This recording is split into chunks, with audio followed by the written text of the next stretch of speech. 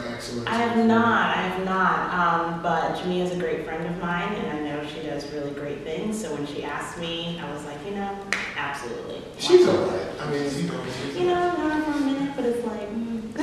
Okay, uh, so we're gonna uh, get into these questions. Uh, at what age did you uh, start uh, dancing? I started dancing like two and a half, three years old. Um, I grew up in Ithaca, New York, and we had one dance studio. Oh, wow. And I didn't really know it existed. I just knew that my mom dropped my sister off somewhere every day and then picked her up after. And it wasn't until I went to her first recital that I realized I want to do exactly what she does. Okay, I so want seeing your sister perform Oh, yeah. prompted you to want. to. All right, that's that's cool. that is that is great. Um, what does uh, black excellence mean to you? Black excellence means um, just birth of life to me. It means just a big, just the celebration of the fact that we get to live. We get to live past our history, we get to create history, our own history. And every day we get to celebrate the fact that we're here Mm. and we're going. We're still moving, we're still pushing, we're still fighting, we're still getting things done, we're creating things, we're showing our faces every day as much as you don't like us, we love us and we're gonna see, keep doing it. We're just gonna keep pushing it and celebrating our black excellence. Oh, that is that is I like that answer. I'm I'm gonna steal that answer. I don't know. Uh, who were or are your uh, artistic influences in general?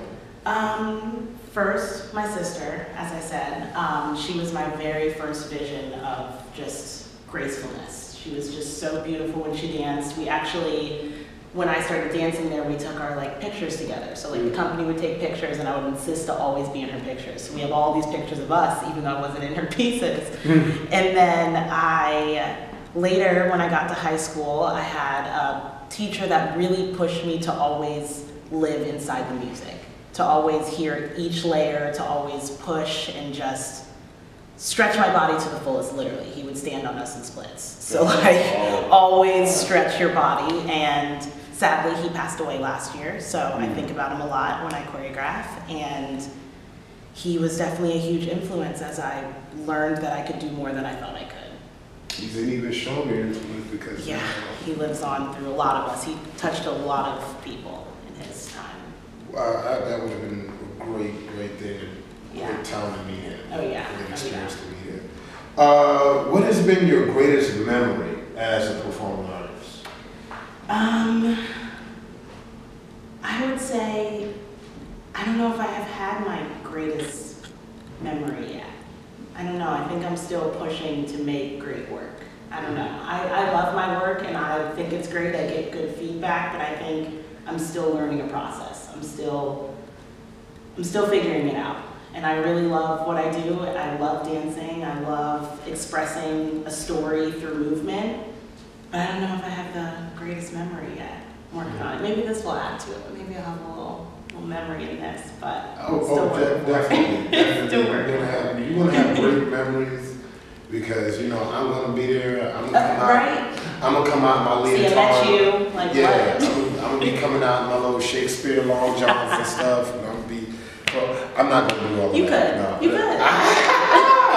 Winter body, we're all Yeah. working it. Winter body, ooh, this, this, is- this ain't winter body right here. I got on, I got on twelve pounds of clothes right Oh, now. yeah, So this, this ain't winter body, this is Modell stuff right here. This- But, uh, Dia, it's been a great interview. I'm looking forward to seeing you dance at the Celebrating Black Excellence event. Uh, I want to thank, uh, everybody that I interviewed with. We're gonna have a great time.